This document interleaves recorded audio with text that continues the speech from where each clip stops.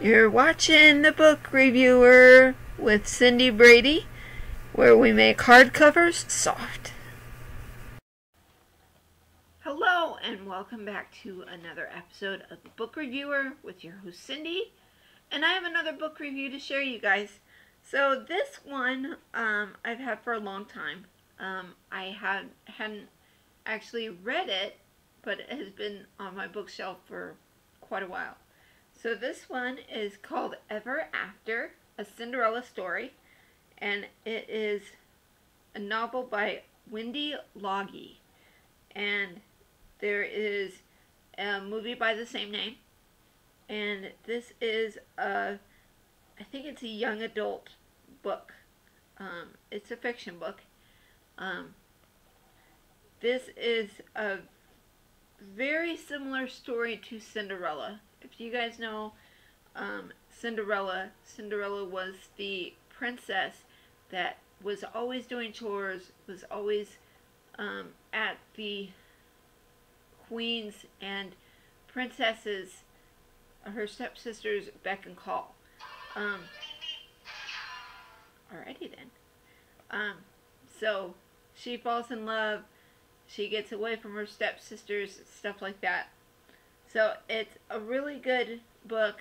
Um, this is kind of a variation, except with um, their definition of royalty.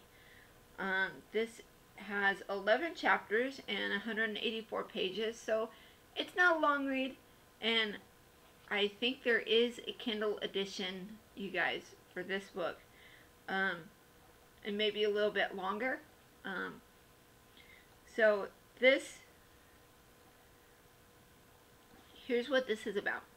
A prince in search of a princess, a domineering baroness and her two daughters, and an orphan servant girl who sleeps in the ashes by the fireplace. By the time Danielle is eight years old, her father and mother have died, and she had been left in the care of her new stepmother, the Baroness Rodmilla of Gaunt.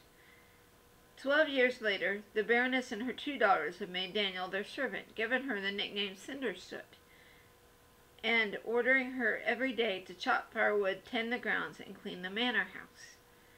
When Prince Henry of France begins the search for a wife, the Baroness intends to make sure her beautiful daughter, Marguerite, becomes his bride.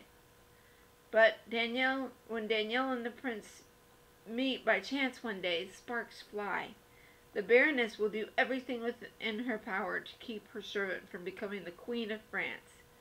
Based on the classic story of Cinderella by Charles Perrault, Ever After is a historical romance that is certain to charm and delight modern readers.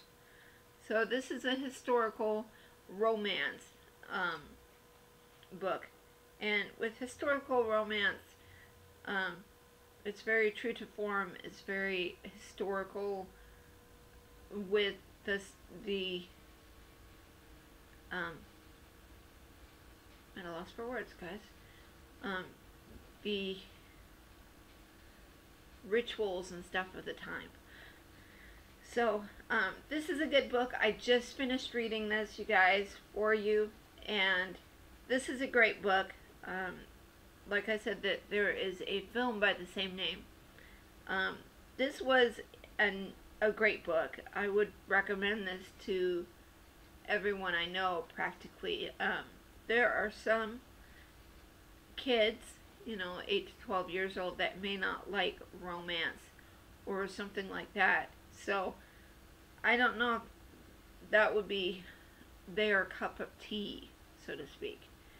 Um, but this is a short book. This is a short read. At least it was for me.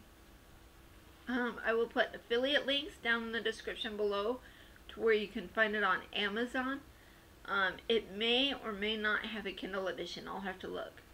Um, so that is all I have for you today. Thanks for watching, you guys. Thanks for subscribing. Keep reading. Don't stop believing. And we will see you again next week. Bye, guys.